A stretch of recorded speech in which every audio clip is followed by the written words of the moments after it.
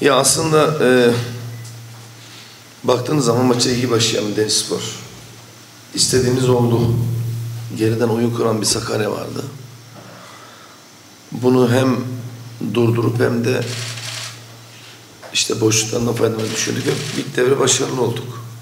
Sonra uzun topa döndüler zaten maç boyunca e, işte e, Santfor oynanan bir uzun top yani başka da bir sıkıntı yaşamadık ama talihsiz çok iki tane gol yedik. Yani çok ucuz goller yiyoruz. Yapılan mücadeleye sahadaki duruşa falan hiç yakışmadı. Tabii Sakarya'da tebrik ederiz yani. O kadar da galip gelen bir takım. Ee, bu oyun böyle iyi oynadığımız maçta iyi mücadele özellikle ilk devrede iyi mücadele maçı en az puanla dönmemiz gerekiyordu. İkinci devre yine iyi başladık. Yani Çeçen'in vurduğu bir top var. Ee, zaten ondan birkaç dakika sonra da golü yedik. Ee, hamle oyuncumuz az. Ee, sakatımız var. Elimizden geldiği kadar tabii mevcut oyuncularla bu mücadeleyi yapmaya devam ediyoruz.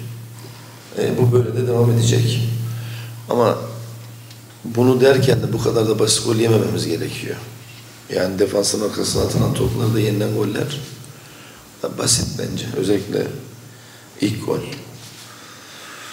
Tabii yapacak bir şey yok. Ee, daha beşinci hafta devam edilecek.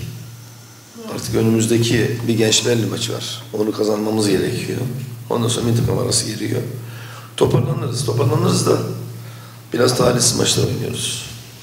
Sorusu varsa mı? Buyurun. Hocam Vahit'in Çiçek TV'net Vahit'in Çiçek TV'net 5. hafta sonunda galibiyet alamadınız. Denizli Spor ve sizin bu seneki hedefiniz ne olacak? Düşmemek olacak kesin. Ama yani nerede bitirmeyi düşünüyorsunuz? Ya şimdi şöyle, e, biz bu seneye zaten transferimiz kapalı biliyorsunuz. E, elimizdeki mevcut kadroyu tutup da başlamayı düşündük. Onu da yönetim başardı. Ama özellikle iki tane yabancı ve en sonunda İlhan'ın e, lisansı ilgili problem çıktı. Arkasından Aysati oynamayacağını söyledi Lopez'de. Sonra bir CC'nin sakatlığı var.